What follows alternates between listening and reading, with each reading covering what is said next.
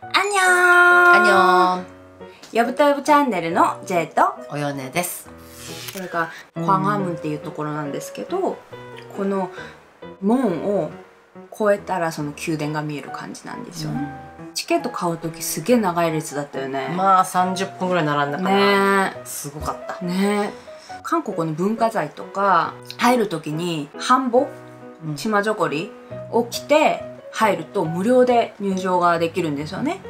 うんうん。この列に並ぶことなくチケット買わずに入ることができるんですよね。周りに韓国レンタルショップがあるんでそこで服をレンタルされてから行くのがおすすめかなと思います、ね。ね。はい。着きましたはい。でチケットを購入して中に入りました。眩しかったよねこの日ほんとろくな写真がなかったね。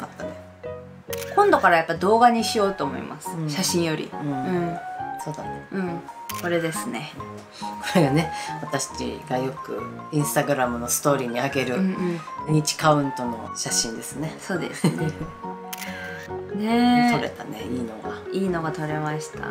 あとプロフィール用写真を意図して撮ったわけじゃなくてこの人がかっこいいからずっと私が何枚も何枚も、ね、何十枚も撮ってたよね。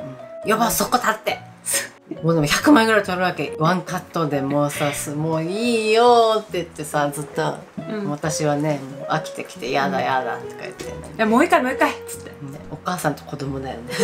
であとセルフィーもずっとなんかもう一回もう一回みたいな感じ。でずっと。途中5枚目ぐらいまで私もこうやってやるんだけどもう6枚目からもうまだまだこれなんかキョンエルって言って王様たちとかが宴会してたところなんですよね。で中にこう池みたいなやつがあってその前でいっぱい写真撮りましたね、お目目合わせてる、ね。これ。ね。ね。これ2人しかいないみたいになってるけどめっちゃ周りに人いたから、そう。うん、すごいちゃ多いよね。すごかったよね。私の刈り上げが。あ本当だ。すごい。これめちゃがっちりしてるよみたいねえ背中半端ない。いっうん。プロフィール写真いっぱい撮ったね。ぱい撮りましたね。でなんかこう公園みたいなね、うんうんうん。あの森もたくさんあるから、うん。休憩しながら。めっちゃ歩いたからね。宮殿めっちゃでかいんですよ、めちゃくちゃ広いから、スニーカーじゃないとそう。マジで行けない。旅はスニーカーで行きましょう。そうです、うんうんこれ何？千人みたいな人がいっぱい。これこれあなんかなんだろうこれ。宮殿の中にまたお寺があってそのお寺の前でも写真撮りましたね、うん。こうやって。なんか博物館みたいなやつになってると思うよね、んうん、なんだけど博物館は入らず私たちはそれ外で写真撮って次のコースに出発しました、スケジュールいっぱいだったからね。そうですね。何でも市場な何んですよね。でも市場行きました、うん、うん。私たちの旅行のツアーって大体食べるのがメインなんですよね。食べるスケジュールが目白押し。そうそうそうそう。いつもね。ねでこの時になんかサムゲタン食べてから結構時間が経っててお腹空いてたよね、うんあの何でもにドーナツ屋さんがあるんですよね。ドーナツと餃子売ってるんですけどでそこで餃子とドーナツを買って立って食べた立ってなんかコンビニみたいなところの前で食べたねしかもドーナツがめっちゃ美味しくてね。そ洗面器にね砂糖がいっぱい入ってる中で、揚げたてのドーナツをその洗面器の中ぐるぐるぐるぐるって砂糖つけてバそうそう。ーってくれるわけ。めっそう。めっちゃ美味しかった。ちゃ美味しかった。その後ねまた足りないねって言ってトッポギ食べた？そう。うん。トッポキと揚げ物とか一緒に入れて食べましたね。めっちゃ美味しかった。美味しかったね。でももう胃袋がはち切れそうだったんだけどもう美味しかった、本当に、うんうんあーまた食べたいはい来ました私の友達に会う約束をして광장市場に行きました광장市場なんですけどそこで名物が何かって言ったらユッケとあの生レバとあの生きたタコとあとそうだねチヂミが有名なんですよねで行ってなんと全部食べました全部食べね、でまずこれですね動いてるた動いてるよ そして生レバですね。わーなんか生々しいねこうやって見ると、うん。ほとんど私が食べたかも。そう。大好きな生なんかレバ量がでもすごいよね。これ1人前2人前とか頼めないよ一皿、一皿っていう単位で売ってるからそれで頼んだよね。うん。さあどんなリアクションしますかね？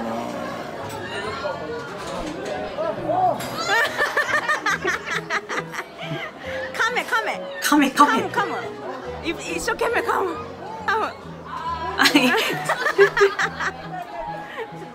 めっちゃ痛いって。痛いって言ってる。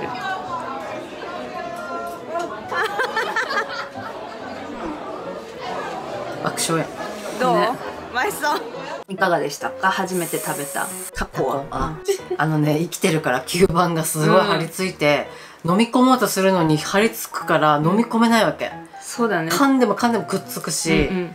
噛めない私はもうね大丈夫です。はい。美味しかったけど食べるのが大変だった、うんいやうん。あとレバーねめっちゃ美味しかったよね。レバー今日本食べれないでしょ。そう。本当に新う鮮、ん。最高だった、ううん。んレバー好きな方は本当にここ行って食べてほしい、うん。本当美味しいよね、ユッケ。ねユッケ食べましたね。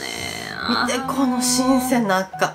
ね素晴らしい。で友達と、まあ、チヂミを食べに行こうって言って、うんうん。市場の中に入っうんうん。てチヂミ屋さん行きました、結構1軒目でねお腹いっぱいだったんだけそど私ちょっべて洗い行くわっつって言ってる間に、こう2人がうん。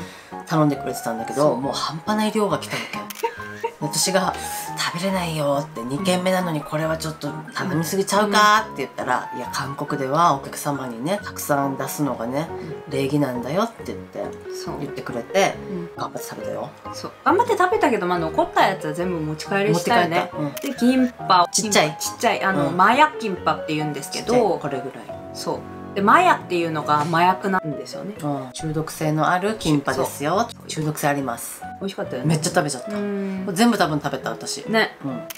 チヂミ。これが緑豆のあのチヂミなんですけどほぼ揚げてる感じだよね。ロッツって言うんですけど、うん。でそれのチヂミでめっちゃ美味しいよね。これ私大好き。サックサクだよ。そう。こんな感じで揚げてる。ねであとあまりにも食べ過ぎたから帰りはあの歩いて帰ろうってなって歩きました。歩きましたね。うん、でこの日にねハムドケビアシジャンって言ってなんか夜市みたいなやつがやってたんですよ、うん。ライトとかがあってうん。綺麗だったよね。ね。うん、うん、見て可愛いでしょ、可愛いね。うん、俺やっぱ可愛い。いっぱい写真撮ったね本当に。1日目も盛りだくさんだったね。ね1日目これで終わりました。次の日になりましたね。うん。家に帰らなきゃいけない。日本に戻ってこなきゃいけないから朝から動きましたね。早起きして、うん。うん、で最初行ったのがチャンドクンっていう宮殿？もう一個の宮殿があるんですけどそこに行きました。なんか具合悪かったよねこの日あなんかマットが硬くて寝れなかった。あーそうだったそうだった。もうまたね絵がね宮殿ばっかだよね。ちょっとね似てるからね。うん。でも結構自由に中に入らせてもらえるから、めっちゃあのいろんなショットが撮影、そう。うん、たくさんできるよね、うん。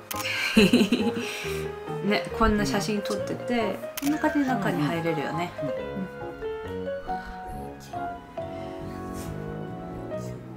なんて言ってる？立球って。言ってる。立球っつって。これ立球だからね。立球だから、うん、おーすごいかっこいい。